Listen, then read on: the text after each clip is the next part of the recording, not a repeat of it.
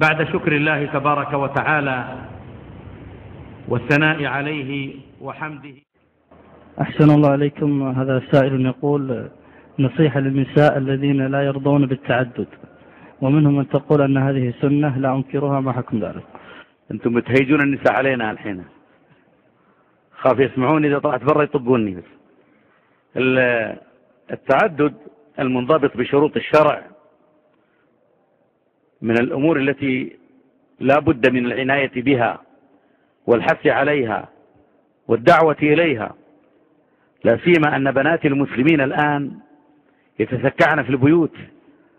بعض البيت في بعض البيوت فيها عدد من البنات. أنا أعرف بيتا فيه تسع نسوة لم يتزوجن منهن من قاربت الخمسين وفيهن خير كثير.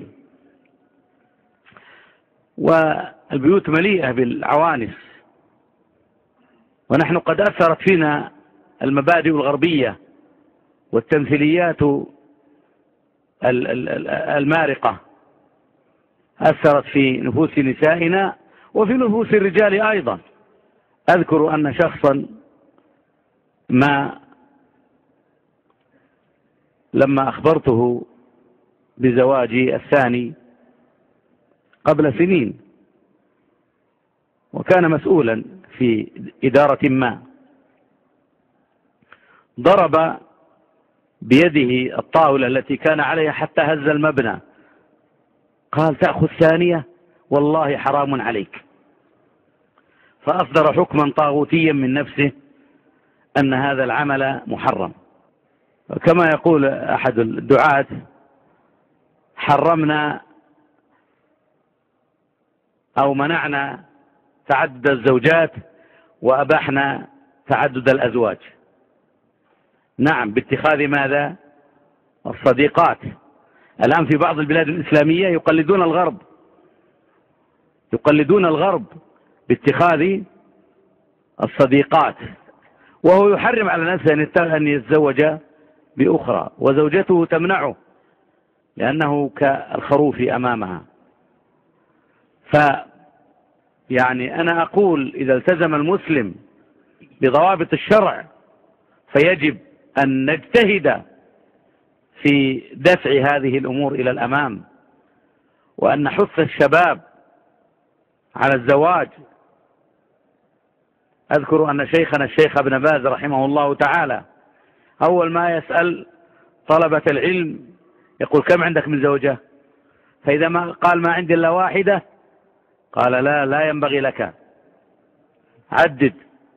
إذا وجدت في نفسك الالتزام بالشروط الشرعية. والله عز وجل يقول فانكحوا ما طاب لكم من النساء مثنى وثلاث ورباع. فبدأ بدأ بالمثنى. عرفت؟ بدأ بالاثنتين. فالأولى هو التعدد. وفيه ما يلي. أولا فيه العفة لك ولمن تتزوجها. وفيه حفظ دينك لئلا تتطلع إلى الغير. وفيه إعفاف للمسلمات الحرائر الموجودات في البيوت. وفيه إحياء للسنن. وفيه رد على آه على المستغربين والمتفرنجين والمتغربين والملحدين المحرمين لما أحل الله بسبب تبعيتهم وتعلقهم بأذيال الغرب وبسبب تقليدهم الأعمى للكفار. ومن تشبه بقوم فهو منهم. في بعض البلاد الإسلامية في قانونهم منصوص على تحريم التعدد لأنهم مسخوا والعياذ بالله بينما يبيحون اتخاذ الصديقات والخدينات والأخدان. هذه في بلاد إسلامية ولن أسمي. أعرف كذا بلد إسلامي يباح فيها اتخاذ الصديقات. لو تزوجت بأخرى عاقبوك. وألزموك بالطلاق. ولو مشيت مع داعرة لما كلموك. والعياذ بالله.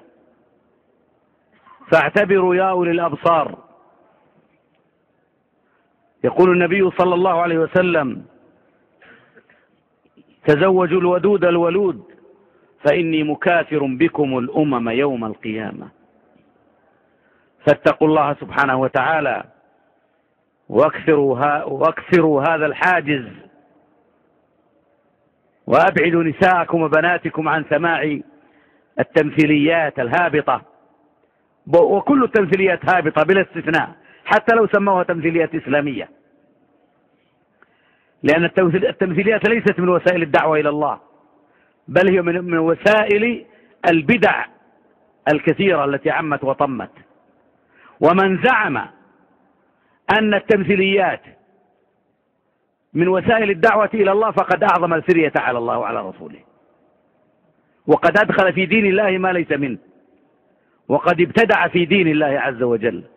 الكذب من دين الله من وسائل الدعوة. تقمص الشخصيات من وسائل الدعوة. من أين لكم هذا يا عباد الله يا مسلمون؟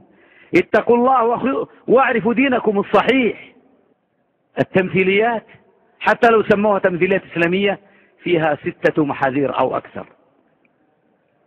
المحذور الأول أنها كذب والكذب محرم. والمحذور الثاني أنها وسيلة بدعية لم تعرف عن النبي صلى الله عليه وسلم ولا عن السلف الصالح. والمحذور الثاني الثالث أنها تقمص لشخصيات فربما جعل نفسه امرأة أو هي تجعل نفسها رجل. ولعن الله وقد لعن الله المتشبهين من الرجال بالنساء والعكس. والمحذور الرابع أنهم قد يتقمصون شخصيات إسلامية من الصحابة والتابعين وهم من أسوأ خلق الله. قد يكونوا من الداعرين والداعرات. هذه تمثل عائشة وهذه تمثل نسيبة بنت كعب وهذه تمثل أم المؤمن أحد من أمهات المؤمنين وآخر, وآخر يمثل آه، أبا بكر الصديق أو عمر أو عثمان وآخر يجعل نفسه طاغوتا فيمثل فرعون. يتكلم على أنه فرعون أو على أنه أبو جهل. لا حول ولا قوة إلا بالله. المحذور الخامس أنها مما تشبهنا فيه بالكفار. فهي من طبع الكفار ومن تشبه بقوم فهو منهم. والمحذور السادس أنها تزهد في العلم علم الشريعة الذي يستعد به المرء ليدعو إلى الله فيتخذ هذا بديلا عن العلم المؤصل من كتاب الله عز وجل وسنة رسول وسنة رسوله صلى الله عليه وسلم.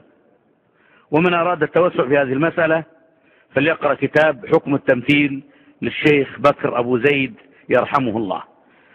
إلى درس الغد أستودعكم الله وصلى الله وسلم وبارك على نبينا محمد وعلى آله وصحبه أجمعين.